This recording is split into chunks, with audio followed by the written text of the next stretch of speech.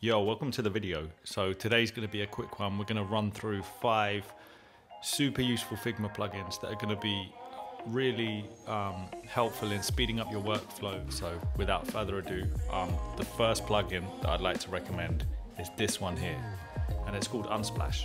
So it's Unsplash is a service that provides um, royalty-free images, and the plugin just pulls images uh, from their database and populates objects on your Figma project with images. So I can probably show much better than I can explain. So I've got this sort of mocked up section of a hypothetical website, and I've got this sort of image mosaic.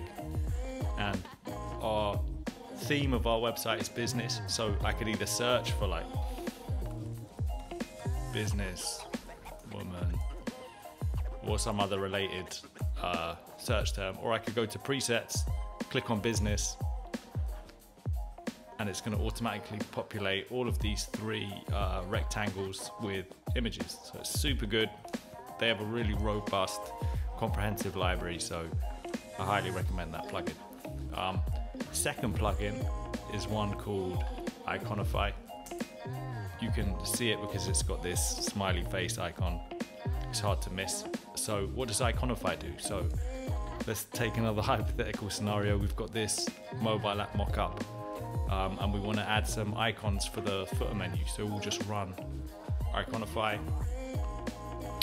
Um, you can see all these collections. A lot of the most popular icon libraries are already loaded there, like Carbon Design, Iconoir I really like.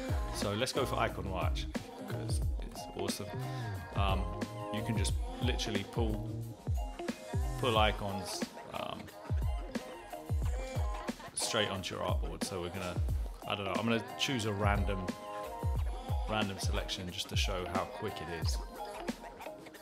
Um, I don't know what else. It's, it's, supposed to be a recipe app, so it's kind of difficult. Yeah, Apple, perfect. Uh, what else could it be? Upload. So we take our four icons and we just plonk them in. And they're vectors, and you can set the size within the plugin uh, here, so you can customize that. You can even flip them um, and override the, and set the color, like if you have a particular hex code that you want to use. Um, so let's just show you how quick this is. What's the primary color? I can't remember. Let's make it a blue. So yeah, the design's already coming to life thanks to Iconify. I love it. Um, third one is called Vector Logos. So I just want to show you what it looks like within the Figma community panel. Um, it's this one. So I, have got it installed, so I'm not going to reinstall it. But this one actually just has a huge range of uh, logos from different popular brands and companies, and even quite niche brands that you wouldn't necessarily expect. You can just search them um, and just drag the high quality vectors onto your artboard. I think. There we go. Only annoying thing is that it closes after you run one and if you need to do a few. It's really useful for me when you've got these like sections where you're um, showing that was that is a horrible that's a horrible logo. For these sections where you're showing companies that you've worked with or collaborated with, I was just doing a redesign for my company um, and I used I use this plugin quite a lot. Don't know what's up with the placement. Sometimes it's a bit funny. Most of these plugins are like just just done by one or two people in their spare time, so don't expect a bug-free experience. But irrespective of that, they're really useful. Um, so I'm showing you how it might work in a real-life project with this fake fake um, design section going to resize this. Usually when I'm working with logos like this, I, I use a grid and then I create the containers. Then I sort of balance the logos within the containers. Because it's quite hard to get them visually balanced because they're all designed really differently. I'm thinking of what can be the last logo. Let's go for Airbnb. And you can see, like most logos, you have multiple variants, so you can select the one that's best suited to your design. I'll probably shrink this.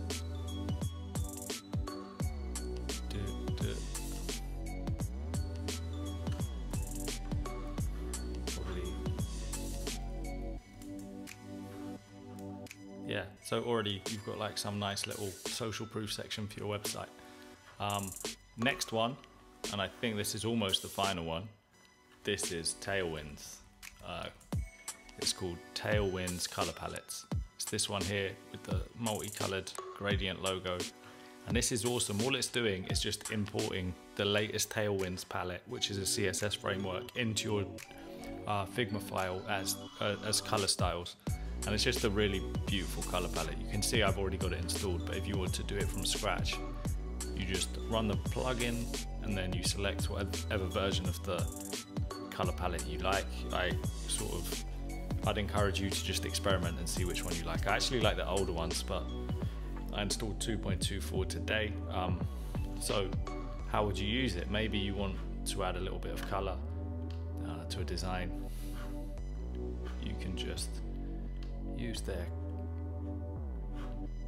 use it like this pick some colors that you like. Um, because they're all weighted, you can sort of balance them uh, really easily. I think I made a mistake there. It's about 50. Let's go for 100. And then finally, I don't know, what, what can we do for the last one? Let's go for No. violet, violet's nice. But as you can see, they're pretty well balanced, they go together. This isn't the nicest design, it's a bit rushed, but you can see that it's really gonna speed up your workflow if you have a nice balanced color palette already imported as styles in your file. Usually importing um, color palettes and styles can be a bit cumbersome, so it's great. Even if you just use it as a boilerplate and then you can modify the modify the colors, it's really nice. Um, the final plugin is going to be something called Autoflow, which is a bit different. It's this one. Um, I love it. So what this one is for is if you're doing screen flows and you're mapping um, interactions between screens, you just open it. You can set the stroke size, um, you can set the stroke color. Uh, I'm not even going to bother changing the color, but once it's open, you can just click either on an entire artboard. You can either do it like artboard to artboard, just by holding shift, or you can do it from a particular element, like a button, um, to an artboard or to another element. And it's just super useful, helps you really communicate um, what the interaction should be in your designs, especially when you've got more complex user flows with multiple journeys.